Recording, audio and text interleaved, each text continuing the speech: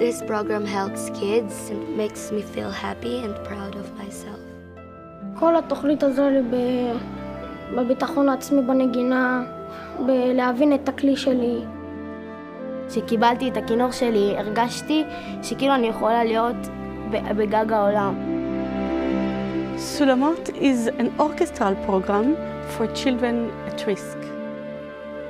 It's an initiative of the Israel Philharmonic and Tel Aviv University.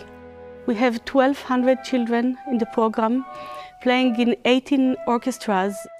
They come from very difficult environment. They cope with difficult life and life condition. And the interesting thing is to see that as more they play, the rate of aggression reduce and the rate of happiness increase. Everybody get a chance to play for a minimum of three years. We don't give up on anyone. Musical education for children is proved to be um, very good for the development of the mind. This uh, music uh, program can help some of them to forget the problems at home, takes them to another level of being.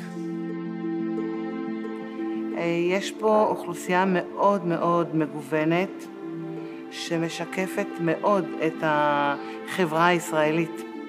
יש פה ערבים, יהודים, נוצרים, עדי יהובה, עולים חדשים, עולים ותיקים, מדברים עברית, לא יודעים אף מילה בעברית, הכל.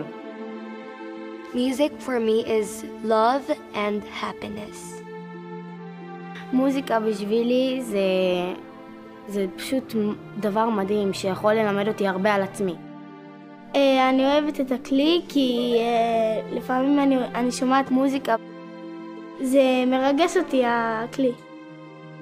זה שאני לומד עוזר למשפחה שלי, זה נותן להם כבוד. As a therapist, I can see the benefit of music as a tool for helping children change. I believe it can create better life, better society.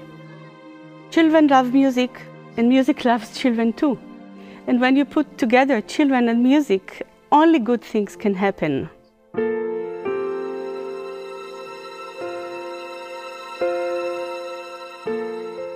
Grisel was born without eyes. She was abandoned. She had many, many social problems. But being on stage makes me feel happy and proud of myself. Now I know that no matter what you are, you can do whatever you want.